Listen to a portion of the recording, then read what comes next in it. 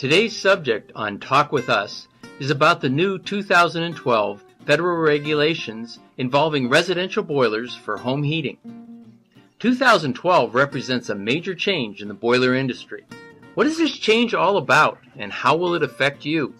The U.S. Department of Energy, DOE, has instituted a new program that is designed to improve the efficiency of home heating equipment and to help further reduce energy consumption. This program includes changes for manufacturers of residential boilers and sets new minimum efficiency standards for these products. Commercial boilers also have new federal requirements but will not be covered in this discussion. In the United States, starting on September 1, 2012, the following changes will be required by law. Please note that these changes apply only to the manufacture of residential boilers as of September 1st and do not affect current or future sales of older products, their installation, or any boilers that are currently in use. The new requirements only involve the manufacture of residential products on or after September 1st, 2012. For Canadians, these standards became effective April 12th. For residential gas-fired water boilers with ratings of 300,000 BTUs or less, the minimum annual fuel efficiency rating, or AFUE, is required to be at least 82%.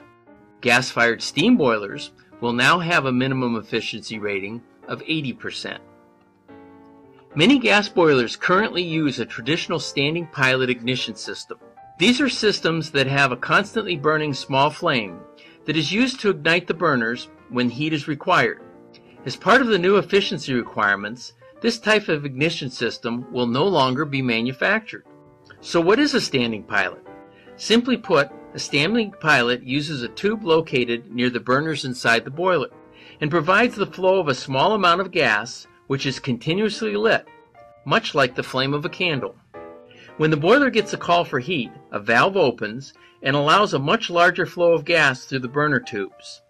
The flame from the standing pilot is sufficient to ignite the larger flow of gas and thus provide the flame needed to heat the boiler water.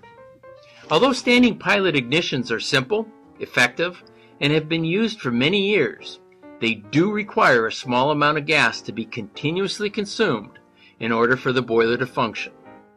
In place of standing pilot ignitions, electronic ignition systems provide a spark instead of a continuous flame to ignite the gas flow to heat the boiler.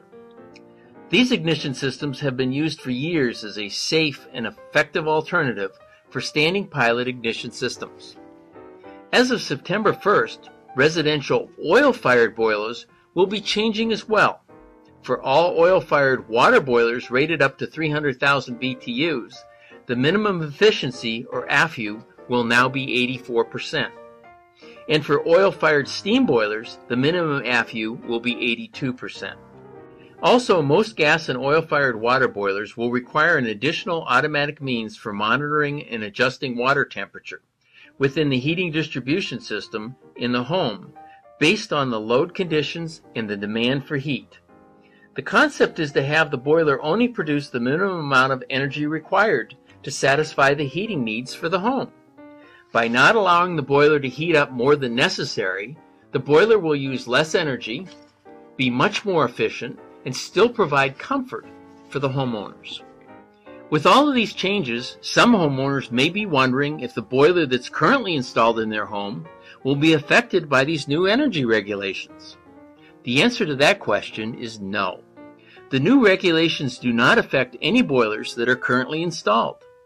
In fact, residential boilers manufactured prior to September 1, 2012 will still be able to be bought, sold, and installed even after September 1st.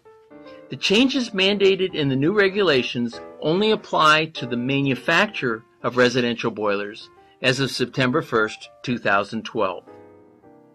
We hope that this information has been helpful in explaining the changes in the federal requirements for residential boilers.